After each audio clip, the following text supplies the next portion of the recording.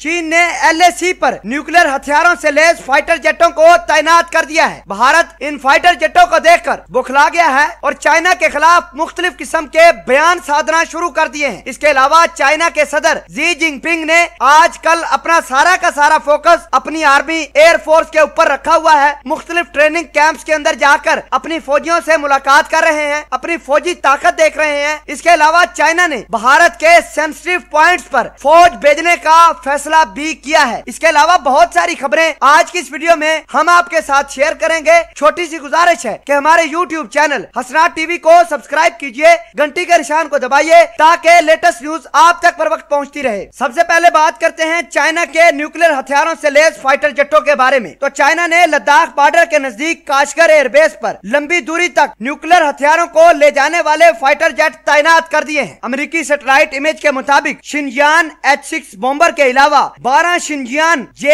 H seven fighter jet और चार Xinjiang J eleven fighter jet China के Kashgar base पर मौजूद है। नादरीन आपको ये बता दें कि इन फाइटर जेटों की रेंज साढ़े तीन हज़ार किलोमीटर से ज़्यादा है। इन फाइटर जेटों में कुछ बॉम्बर तैयारों के ऊपर मिसाइलों की तैनाती भी की गई है। नादरीन आपको ये बता दें कि हाल ही में चाइना ने साउथ चाइना सी के अंदर अपनी मिलिट्री ड्रिल के दौरान दो बॉम्बर जहाजों को अमेरिका को दिखाने के लिए, अपनी ताकत दिखाने के लिए उड़ाए थे और फिर उनको अपनी बेसिस पर लैंड करवा दिया। उसके बाद आज बड़ी डेवलपमेंट ये हुई है कि चाइना के काशगर एयरबेस के ऊपर चाइना ने फाइटर जेट ऐसे तैनात किए हैं जो न्यूक्लियर वेपन को लंबी दूरी तक ले जा सकते हैं। अमेरिका और भारत दोनों ही इस तमाम तर चाइनीज़ डेवलपमेंट से परेशान होकर बैठ गए हैं और चाइना के बारे में नई प्लान बनाना शुरू कर दिया है। नाजरीन, आपको ये बता दे कि भारत की सरहदी इलाकों से काशगर का फासला 690 किलोमीटर है और इन फाइटर जेटों की स्पीड इतनी ज़्यादा है कि सिर्फ़ सिर्फ़ 10 मिनट के अंदर अंदर भारत की सरहद के अंदर घुसकर अपनी कार्रवाई को सरंजाम दे सकते हैं। मतलब ये कि चाइना के ये फाइटर जेट हज़ारों किलोमीटर का सफ़र चंद मिनटों में तय करके दुश्मन पर कारी जरब लगाकर वापस अपने बेसिस पर आ सकते हैं। दूसरी बड़ी और अहम डेवलपमेंट ये है कि चीनी सदर जी जिनपिंग आजकल अपनी सारी की सारी मसरूफियात तरक करके अपनी फौज पर फोकस बनाए हुए हैं। चीनी सदर जी जिनपिंग ने अपने फौज का लगातार हौसला बढ़ाने के लिए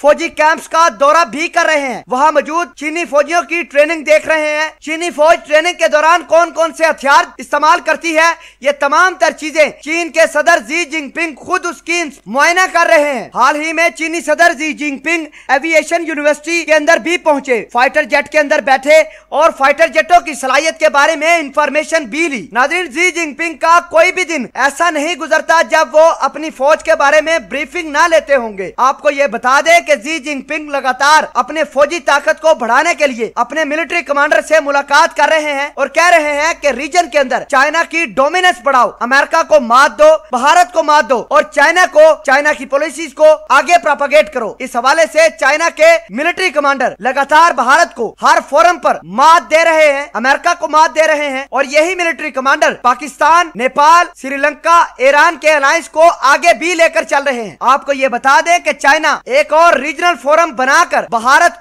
मार मारने वाला है। इस रीजनल फोरम के अंदर वो तमाम तर मुल्क शामिल होंगे जो भारत से लड़ाई कर चुके हैं या लड़ाई करने का इरादा रखते हैं। जैसे पाकिस्तान, ईरान, अफ़गानिस्तान, बांग्लादेश, नेपाल, श्रीलंका, ये सारे के सारे मुल्क उस फोरम का हिस्सा होंगे। चाइना उसको लीड करेगा और भारत को ये तमाम तर ममालक भारत को तनहा छोड़कर अपने आप को मज़बूत करेंगे।